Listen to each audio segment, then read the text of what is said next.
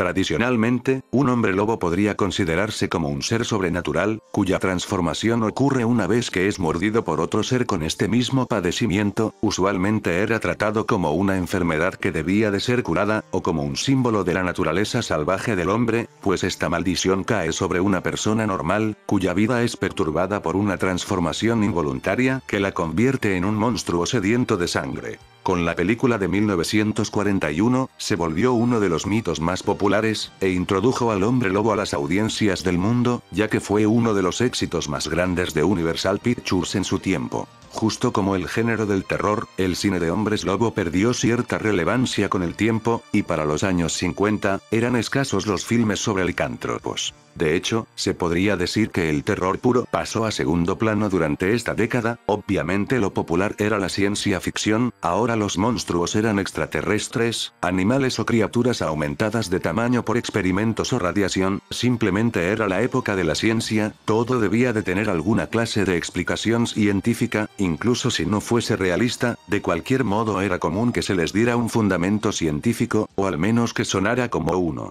Una de las primeras películas en mezclar el terror clásico con la ciencia ficción popular de su tiempo fue El hombre lobo, de 1956, conocida en países hispanos como Los colmillos del lobo. En esta película, se dejan atrás las maldiciones, las mordidas de hombres lobo, y la típica mitología asociada con hombres lobo, a favor de un giro refrescante para las audiencias de su tiempo, quienes no temían a eventos sobrenaturales, sino al mal uso de la ciencia para crear aberraciones o destruir vida, particularmente al enterarse sobre la creación de la bomba atómica y la amenaza de la Guerra Fría entre Estados Unidos y la Unión Soviética. De hecho, el filme comienza introduciendo a la audiencia la mítica leyenda del hombre lobo, estableciendo las bases para la pseudociencia sobre la cual recae la película, recordándote a la clásica leyenda del hombre lobo, para luego revelar el nuevo giro de ciencia ficción que planean darle. El filme comienza con un hombre despistado llegando al bar de un pueblo, el sujeto no parece tener recuerdos, no recuerda ni su identidad ni su lugar de procedencia, pronto es atacado por un hombre en un callejón, lo que despierta a la bestia interior del hombre perdido, quien era anteriormente pacífico, convirtiéndolo en el hombre lobo del título, después, varios hombres locales siguen los pasos de la bestia, solo para ser atacados ellos mismos.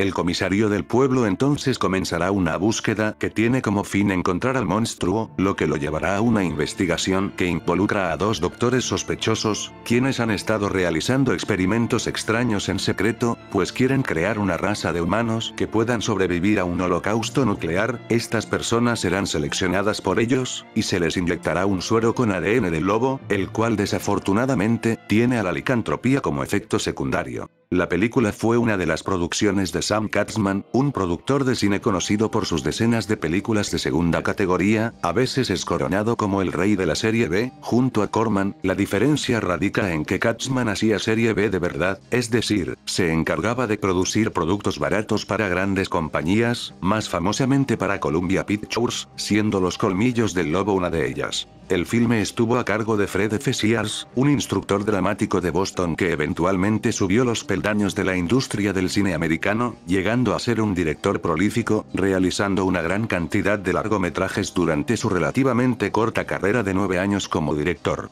El guion del filme fue escrito por Robert Kent, quien tuvo una larga carrera como escritor y productor, y por James Gordon, quien solo tuvo algunos cuantos créditos a su nombre. El director de fotografía fue Edward Linden, quien como muchos de los cinefotógrafos de la serie B, ha trabajado desde la época del cine silente, incluso llegando a participar en clásicos como King Kong y su secuela, siendo Los Colmillos del Lobo su último crédito en el cine. La película tuvo críticas mixtas, y con el tiempo ha resultado algo olvidada por el público general, careciendo de la popularidad que han tenido otros éxitos como El Hombre Lobo, pero al tener varias transmisiones en televisión, y por sus elementos peculiares, se ganó de un seguimiento de culto. A pesar de que al principio no puede parecer la gran cosa, considero que es un filme bastante bueno, que utiliza sus bajos recursos para bien, los cineastas hicieron mucho dentro de sus limitaciones, y entregaron un largometraje sólido. Sus escenas de terror son sugestivas pero poco gráficas, sabe cómo crear secuencias intensas con muy poco y de manera simple pero efectiva. Como era de esperarse de un veterano prolífico, la dirección es acertada y satisfactoria, a pesar de que se haya tenido que recurrir a planos estáticos o tomas muy largas en algunos momentos para ahorrar tiempo y dinero, pero esto no lastima a la cinta. Si bien es una película muy corta, su ritmo no es particularmente rápido, inicia rápidamente con su historia y la detona de una manera eficaz, pero bien pudo haberse recortado, pues a pesar de que el guion está bien desarrollado, ciertamente es notable la necesidad de alargar a la película un poco más de lo necesario, aunque no se siente especialmente lenta ni tediosa posiblemente funcionaría mejor como un episodio de una serie de televisión, debido a sus pocos personajes y locaciones, además de que se beneficiaría de una duración menor, pero como cinta corta de serie B no está nada mal, se deja ver bastante bien. Como era de esperarse, el plan de los científicos villanos es interesante, y hasta cierto punto entendible, pero su ambición y acciones erróneas corrompen la integridad de su discurso, creando antagonistas bien trabajados, incluso si no son extensamente desarrollados. La fotografía de Linden es bastante efectiva, especialmente durante las escenas nocturnas o en lugares oscuros, donde se utilizan muy bien las sombras y la luz, no solo para dar volumen, sino también para ocultar los elementos más fuertes de la imagen que son relevantes para crear tensión, dándonos la información necesaria pero sin mostrar demasiado, como el aspecto del monstruo, el cual será revelado en una escena posterior, o para ocultar el cadáver de una víctima, en general es un trabajo relativamente simple y de bajo presupuesto pero bien logrado.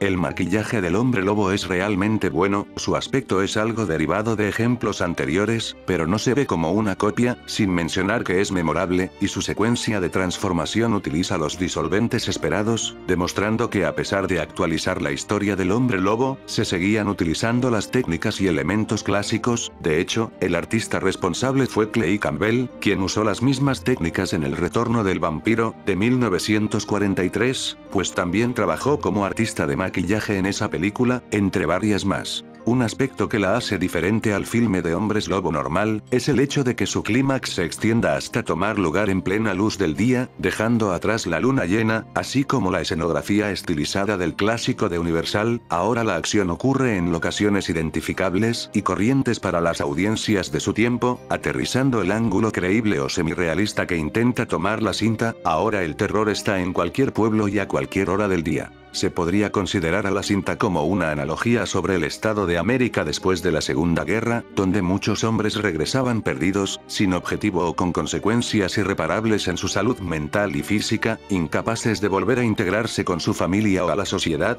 pues habían sido utilizados por otros como objetos para sus fines perversos, sin mencionar el incesante miedo al gran avance de la ciencia, y los posibles males que puedan provenir de ella. Cabe mencionar, que el malvado villano no es el hombre que se transforma en lobo, ya que lo hace involuntariamente y lamentándose sus acciones, sino que son los científicos quienes realizan las acciones más inmorales de manera intencional, al fin y al cabo, son ellos quienes han creado al monstruo. Se le puede catalogar como un filme de culto poco popular o simple, pero creo que se mantiene como una de las obras más interesantes y peculiares de la época, ofreciendo un punto de vista refrescante al subgénero y encapsulando de manera orgánica y clara los miedos y pensamientos de la época en cuanto al terror. Un filme aprovechable que puedo recomendar para fanáticos del terror cincuentero, sin dudas una producción curiosa y disfrutable de su tiempo. La película se estrenó en Estados Unidos en una función doble junto a La Tierra contra los platillos voladores, del mismo director y producida por Katzman igualmente.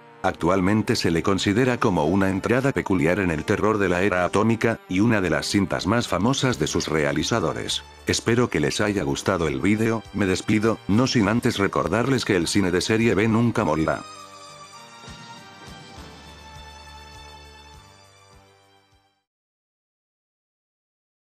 After smashing stuff with Frank and the mutant pack, go spacing with a deadly bunch of human-hungry aliens. Green Slime is next on TNT's Monster Vision Bash. Ya regresamos con más de Martian Sucesor Nadesco. A partir del primero de octubre inicia... Control